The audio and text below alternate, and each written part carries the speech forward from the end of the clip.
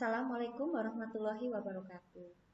Ini adalah video penunjang untuk praktek sistem basis data, prakteknya ya. Nah, e, untuk prakteknya di awal video ini akan saya e, jelaskan dulu bahasan prakteknya apa saja. E, kali ini di video pertama ini kita akan pendahuluan dulu. E, nanti akan ada instalasi gitu ya, sama memasukkan data untuk pertama kali. Kemudian nanti akan e, dilanjutkan dengan tipe data, operator dan fungsi bawaan. Kemudian ada membuat, merubah, menduplikasi dan menghapus tabel. Kemudian e, yang terakhir nanti ada pengaksesan data tabel. Oke, e, yang akan kita butuhkan untuk praktek e, sistem basis data ini ada dua software. Software pertama adalah saya pakai Navigate ya, tools MySQL-nya di sini saya pakai Navigate Premium Enterprise Edition V1209 ya. Kemudian untuk examnya kebetulan saya di sini pakai yang versi 7390. Uh, eh, untuk tampilan uh, Navigate Premium Enterprise Edition uh, versi 209 seperti ini ya nantinya. Nah, penjelasan Navigate. Apa sih Navigate itu? Navigate adalah rangkaian perangkat lunak manajemen dan pengembangan basis data grafis yang diproduksi oleh CyberTech Ltd uh, untuk MySQL, MariaDB, MongoDB, Oracle, SQLite, PostgreSQL, dan Microsoft SQL Server. Nah, uh, tadi saya sudah menyebutkan selain software Navigate kita nanti juga butuh exam ya. Nah, exam ini gunanya untuk server MySQL. Nah, sudah saya jelaskan di kelas teori bahwa exam itu adalah suatu software gitu ya atau perangkat lunak uh, free software gitu ya yang mendukung untuk uh, banyak sistem operasi. Nah, seperti di kelas teori sudah saya sebutkan ada 4 OS yang menunjang di situ ya. Nah, kemudian uh, ini juga merupakan suatu kompilasi dari beberapa program. Nah, exam PP sendiri itu berfungsi sebagai server yang berdiri se sendiri secara lokal host yang terdiri dari beberapa program ya. Ada antara lain ada Apache, HTTP server, kemudian MySQL server, MySQL database, dan penerjemah bahasa yang ditulis dengan bahasa pemrograman PHP, PHP dan Perl. Nah, uh, yang akan kita pelajari di kelas praktek ini nanti kita akan tahu tipe data yang secara umum ya. Secara umum itu tipe data ada numeric value, string atau karakter value, date and time value dan ada lagi null. Nanti akan saya jelaskan sembari praktek. Kemudian jenis atributnya uh, untuk setiap kolom atau field gitu ya. Itu ada auto increment yang angkanya ber, uh, berurutan ya berurut dari kecil ke besar. Kemudian signed and unsigned jadi yang ter uh, apa ya tercentang gitu ya atau yang tidak tercentang gitu. Kemudian null and not null, kemudian default dan zero field. Nah, ini adalah tipe data numerik yang uh, perlu kita pelajari ya. Sebenarnya tipe data numerik itu ada banyak ya. Di sini bisa Anda lihat mulai dari tiniin. Ya tiniin ini uh, fungsinya untuk menyimpan data bilangan bulat baik positif maupun negatif. Tetapi dia jangkauannya hanya uh, se sebesar 8 bit saja. 8 bit itu minus 128 sampai plus 127 kecil sekali ya itu ini nah atasnya ada yang 16 bit namanya small in dia uh, rentangnya antara 32.768 minus ya minus 32.768 sampai dengan 32.767 atasnya lagi ada yang 24 bit ini lebih besar lagi sekitar minus 8 jutaan sampai 8 jutaan kita menyebutnya medium in ya Nah, ada lagi yang INT, ini yang paling sering kita gunakan. Kenapa? Karena uh, ini yang paling umum gitu ya. Nah, ini juga rentangnya lebih besar lagi ya, sampai triliun, 2 triliun, minus 2 triliun sampai lebih dari 2 triliun. Dan ini ukurannya 32 bit atau 4 byte ya. Ini lebih lebih umum kita gunakan. Nah, kemudian atasnya lagi ada big in dan kemudian ada float. Uh, Oke, okay, kita lanjutkan. Dan yang ketujuh ada double. Double ini lebih besar ya. Dia uh, double ini biasanya ke bilangan pecahan. Sama seperti real, desimal, dan numerik. Ini bisa uh, menggunakan bilangan pecahan. Dan masing-masing ini semua ukurannya 64 bit. Nah, kemudian tipe data selanjutnya adalah tipe data string atau karakter. Itu ada enam jenis ya. Ada char, varchar, tiny text, text, medium text, long text. Uh, biasanya kita itu menggunakan yang char atau varchar gitu ya. Di sini sudah cukup uh, apa ya? Kalau bedanya char dan varchar ya. Kalau char itu ukurannya tetap selalu seperti itu. Itu biasanya digunakan untuk kode gitu ya. Seperti nomor induk mahasiswa NIM gitu ya. Itu kan uh, kalau di kampus kita itu ada 8 karakter di mana 8 karakter itu ukurannya tetap uh, field apa pun itu pasti nanti ukurannya 8 karakter. Tapi kalau varchar itu dinamis. Dinamis itu artinya biasanya contoh nih ya, biasanya digunakan untuk nama mahasiswa. Nama mahasiswa ditentukan karakternya 50 karakter. Tetapi nggak semua field itu plek 50 karakter. Ada yang di bawahnya gitu ya. Yang jelas 50 karakter itu batas maksimalnya. Jadi ada yang 35, 30. Jadi tergantung setiap field-field gitu ya. Beda kalau char itu biasanya hubungannya sama kode kode barang NIM jadi itu sudah tetap gitu ya ukurannya oke kita lanjutkan ada tipe data block atau kita sering menyebutnya dengan biner nah ini ada lima jenis ya yang pertama bit itu untuk tipe data biner uh, jangkauannya 64 bit 64 digit biner. Nah untuk yang lainnya ini biasanya uh, hubungannya sama gambar ya. Oke, kemudian ada enum atau set. Uh, enum atau set ini biasanya untuk pilihan gitu ya, kayak jenis kelamin, agama, program studi, yang uh, sekiranya data tersebut hanya dipilih satu saja gitu ya. Ada enum, ada set. Kemudian tipe data date and time gitu ya. Date saja itu ada ya. Itu uh, jangkauannya dari awalnya itu mulai tahun 1000 bulan 1 tanggal 1 sampai dengan tahun 9999 bulan 12 tanggal 31. Jadi dibalik ya. Eh, year year year year jadi 4 digit year tahun dan 2 digit bulan month month dan 2 digit tanggal date date gitu ya. Itu untuk date.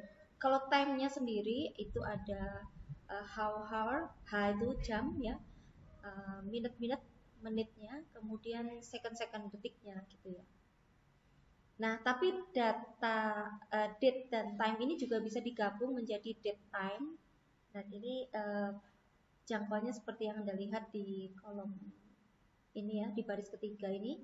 Jadi ada tanggal ya, um, tahun, bulan, tanggal, kemudian ada jam, menit, dan detik sampai dengan 9999 bulan 12 tanggal 31 jam 23 lebih 59 59 gitu ya.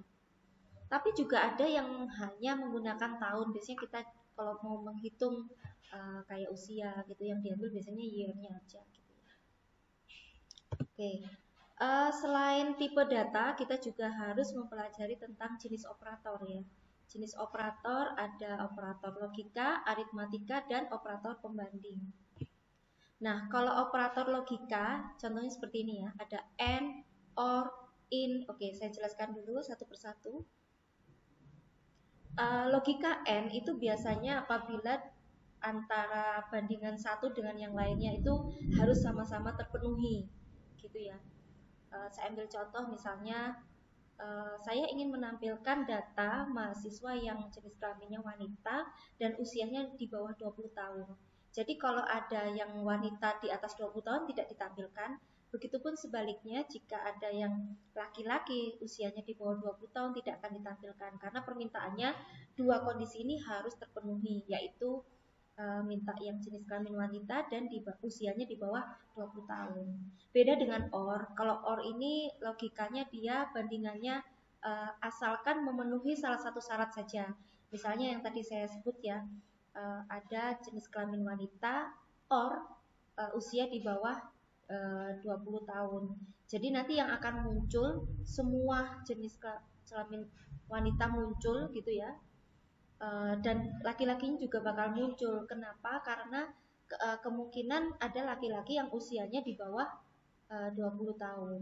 Itu yang akan muncul. Karena yang penting salah satu syarat terpenuhi maka dimunculkan gitu. Jadi bisa dibilang iris irisan ya. Jadi ada menampilkan data yang perempuan, tampil semua perempuan pasti meskipun usianya di atas 20 tahun tetap keluar. Kemudian yang satunya lagi kalau usianya di bawah 20 tahun kan ya. Uh, sekalipun itu laki-laki. Oke, kita lanjutkan. Yang ketiga adalah operator in. In itu uh, adalah kondisi yang mengharuskan dengan list tertentu gitu ya. Misalnya gini, saya ingin menampilkan data mahasiswa yang lahirnya di kota Malang itu pakai in. Jadi nanti yang keluar hanya lahir di kota Malang gitu.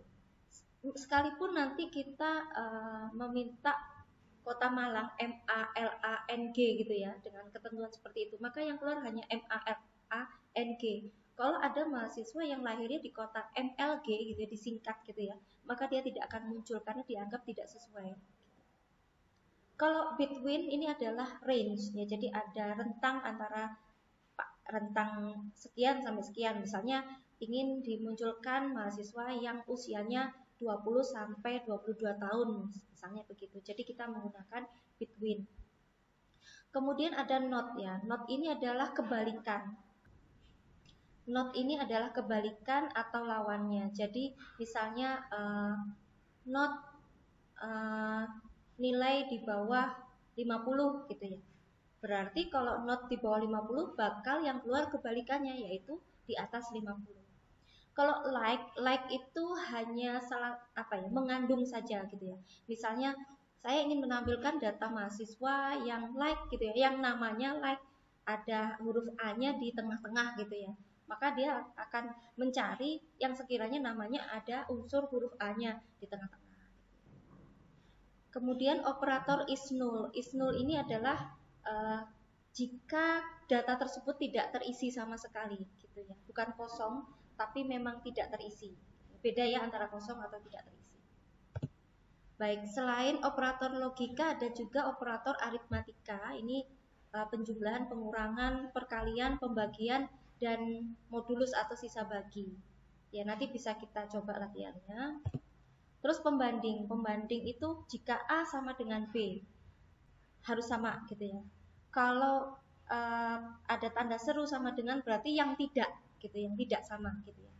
Kalau tanda siku gini itu adalah membandingkan dua operan A dan B. Jika nilai A tidak sama dengan B, maka dianggap itu nilainya true gitu ya. Itu sama seperti tanda seru sama dengan ya terus lebih besar ya kemudian nanti ada yang lebih kecil lebih besar sama dengan lebih kecil sama dengan tidak sama tidak lebih besar tidak lebih kecil. Nah urutan prioritasnya seperti ini. Jadi pertama akan dimunculkan binary dulu not dulu minus dulu kemudian operator uh, perkalian pembagian dan seterusnya. Jadi ini adalah urutan prioritasnya Baik, uh, kita bisa lanjutkan ke instalasi Navigate. Uh, baiklah, ini saya akan mencoba me, apa ya, mempresentasikan bagaimana cara menginstal Navigate. Nah, ini uh, Navigate-nya nanti yang zip ini di kompresan ini dibuka dulu kompresnya. Kemudian seperti ini ya, ini sudah ada. Saya buka, ini langsung diklik aja setup.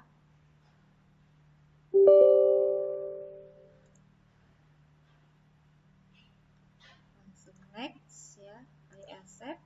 Next. Ini langsung next aja. Next aja. Next.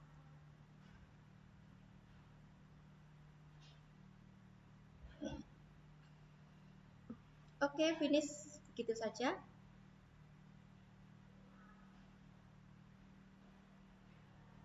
Oke. Okay.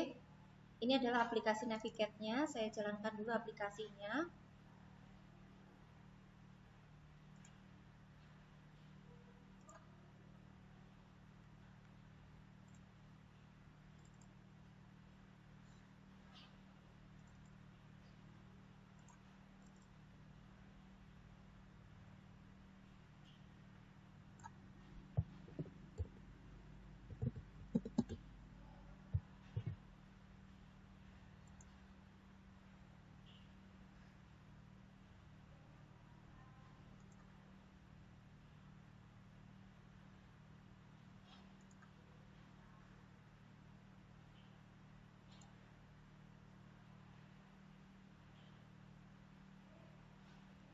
Nah, ini adalah tampilan awal dari Navigate. Nah, uh, sekarang kita coba ke slide kita dulu ya. Nah, kita mau coba nih uh, menampilkan 10 ditambah 20 ya. Kita bisa koneksi dulu ke MySQL. Uh, kita kasih nama aja SPD gitu ya. Langsung oke okay aja di double klik connecting to SPD oh ya uh, setelah kita bikin ini kita jangan lupa uh, menjalankan examnya ya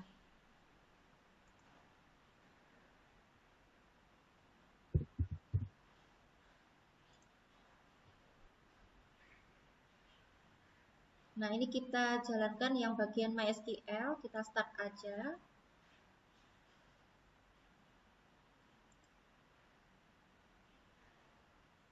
Oke, ini kalau sudah berwarna hijau berarti sudah jalan.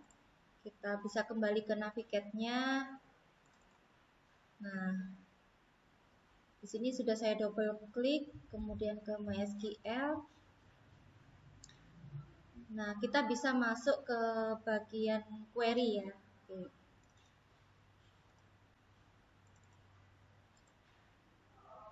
Nah, di query ini kita bisa klik new query.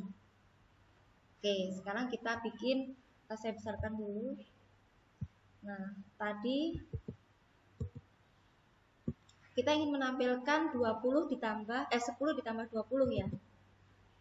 Select spasi 10 ditambah 20 titik koma. Nah, ini kita harapannya kan tampil angka 30 ya. Oke, kita coba dulu. Nah, ini sudah muncul 30. Oke. Sekarang kita mau coba angka yang lain. Latihan yang lain ya. 15,4 ditambah 13,2.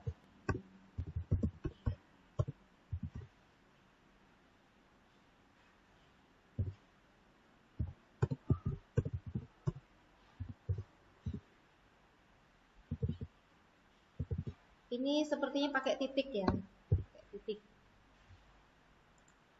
Saya coba dulu pakai titik ya. Ini kita hapus dulu yang atasnya. Nah, kita running ya. Nah, 15,4 ditambah 13,2 jawabannya 28,6. Coba saya ganti dengan tanda koma ya.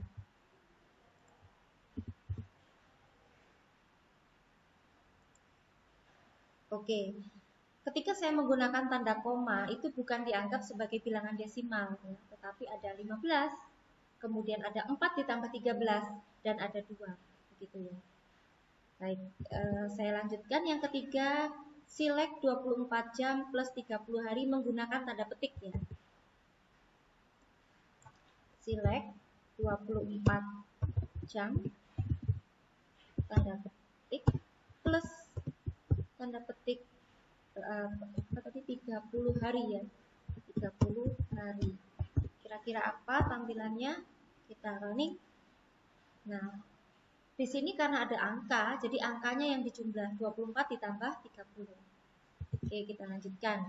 12 bulan dikurangi satu tahun menggunakan satu petik ya petik tunggal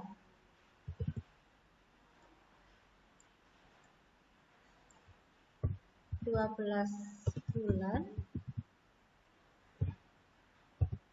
dikurangi satu tahun ya. Satu tahun. Nah yang terjadi sama seperti tadi tanda petik tunggal juga dianggap akan menghitung bilangannya saja. Ya.